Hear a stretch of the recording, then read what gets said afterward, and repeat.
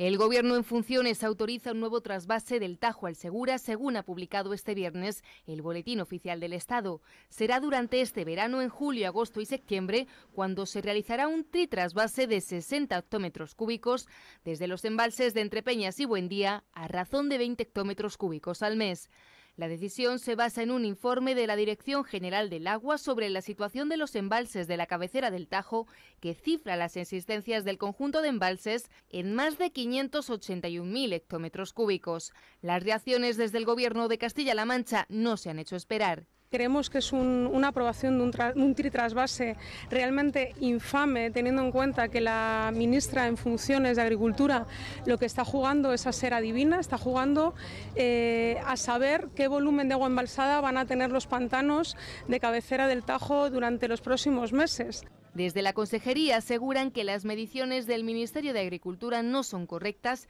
si se tienen en cuenta, dicen que para el sostenimiento del río hay que desembalsar mínimo 15 hectómetros cúbicos al mes. Para las necesidades del agua de boca y otros usos se necesitan 20 hectómetros cúbicos al mes, a los que hay que sumar, dicen, la propia evaporación estival y los 20 hectómetros cúbicos que ha autorizado el Gobierno. Tenemos serias dudas de que en el mes de septiembre ese trasvase que se ha aprobado jugando a la adivinanza eh, sea legal. Cómo no, desde el Gobierno regional vamos a estar muy atentos a esas cifras, vamos a estar atentos a los medidores de aforo en el río, vamos a recurrir, cómo no, ese tritrasvase porque creemos que no es legal, eh, teniendo en cuenta que estamos en verano, que se juegue la adivinanza y se aprueben tres trasvases consecutivos. Por su parte, desde la delegación del Gobierno en Castilla-La Mancha aseguran que los trasvases duelen y ponen de manifiesto que en la actualidad los trasvases se hacen de acuerdo a la normativa de reserva de 400 hectómetros